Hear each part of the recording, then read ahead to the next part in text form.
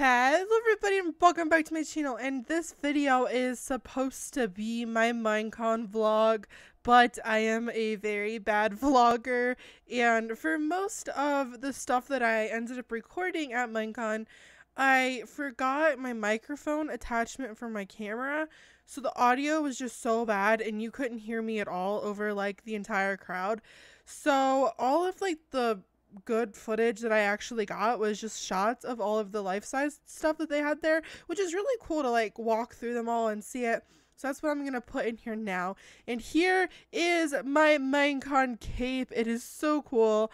I love it. This is like out of all of the capes that they've ever had, this is the one that I would have wanted. So I'm so glad that I did go and get the cape at least. So yeah, hope you enjoy this little like montage of clips from Minecon.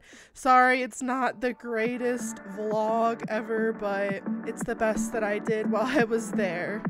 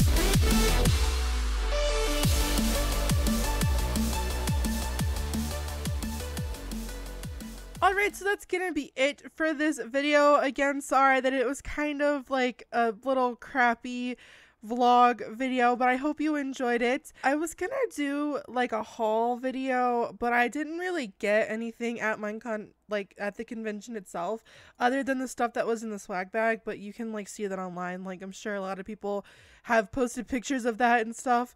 So yeah, give this video a thumbs up if you enjoyed it and I'll see you guys next time. Bye.